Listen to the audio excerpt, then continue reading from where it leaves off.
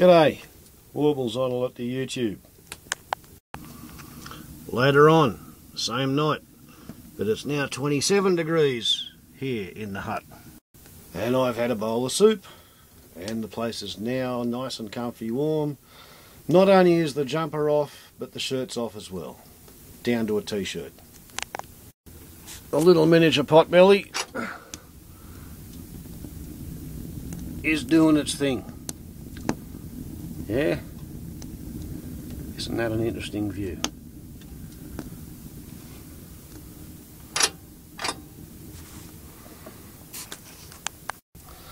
So, let's have a little bit of a movie about the ethical use of the dislike button. It's a tricky thing, isn't it? Like, what if somebody makes a video on a topic that you're not comfortable with,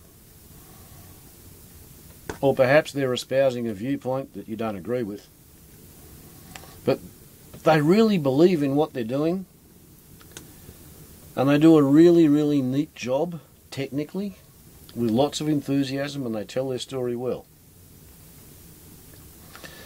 Are you justified in hitting them with a dislike just because you happen to disagree with their point?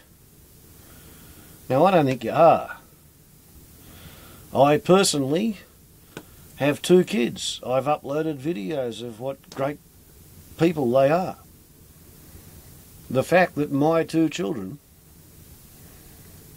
both of them are nicer people, happier, better adjusted emotionally and intellectually and in terms of maturity than either I was or their mother was at their age. That makes me feel pretty happy about having kids, you know, like I'm glad I'm a parent. So I've seen a lot of anti-natalist videos that I disagreed with, and a whole bunch of them I've given a like to because they were well done, and the people who made them believed in what they were doing, and they weren't being nasty about it, right? Some people might put up a video really well made about something that I think was deplorable, like Hitler's concentration camps.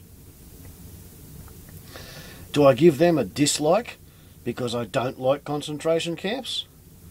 Do I give them a dislike because I don't like Nazis? No, I don't. I give them a like because they've told the story well. Okay? So, this afternoon, before I went to town, on my video scroll, there were no dislikes on the first page. Nobody had disliked any of the first 10 movies on my page. When I got home, had a bit of a look, oh, somebody's put a dislike up there. Checked a bit closer. There was one dislike on every one of the first seven movies on my scroll. Or top seven movies on my scroll. Most recent seven movies on my scroll. And they were on totally different topics, you know, like one was on hand powered washing machines, one was on kangaroos learning to eat bread by watching currawongs. Three were on a rock concert. You know, one was a campfire in the day, one was a campfire at night, and one was fire dancers. So there's there's nothing linking those dislikes apart from the fact that all seven of them happened within a four hour period. Seven different movies on different topics. And the common factor is I made all the movies. So we've got a case where somebody does not like me. And it doesn't matter what I say, it doesn't matter what the movie's about.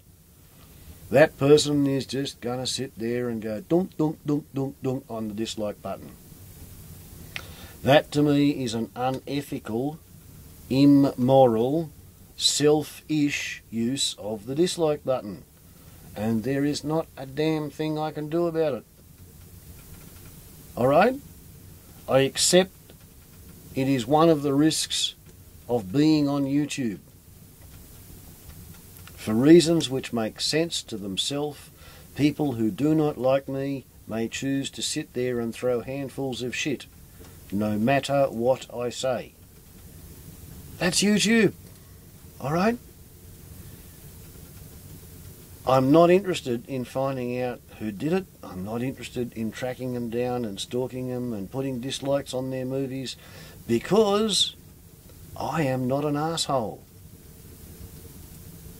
I'm prepared to allow other people to be assholes. That is their privilege. It is a free will universe. You want to be an asshole? Go out there and fight with the cosmic scoreboard effect, the great wheel of karma, the fates. It doesn't matter what philosophy or religious discipline you want to play with. Even atheists generally tend to wake up to themselves and admit that what goes around comes around. And if you've gone out there and put seven dislikes on my videos because I am me, then somebody will come and return that favour to you sevenfold without me having to do anything about it. Right? 90% of the fun in revenge lies in thinking about it beforehand. 10% of the fun in revenge lies in actually performing the, the act, in doing it, in taking the revenge. After which you've got no fun at all.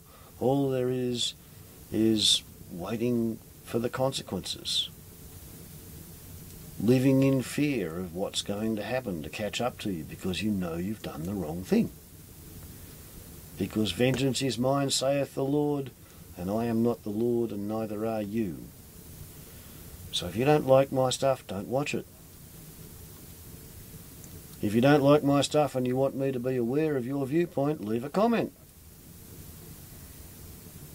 Putting a dislike on each of the top seven videos on my clip, that just sort of makes me feel sorry for you because whoever you are, you have no functional way of communicating. All you can do is throw shit.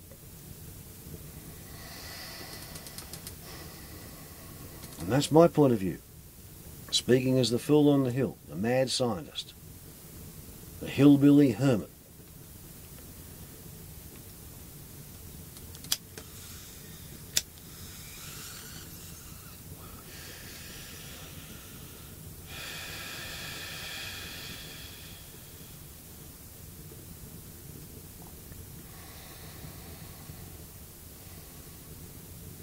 How would it be if everybody thought just like I do?